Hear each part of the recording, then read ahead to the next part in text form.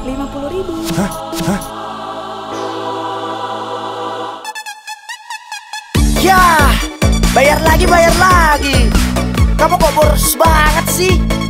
Hubungan kita jadi berat nih ongkos nih. Dikit-dikit aku yang bayarin. Ih,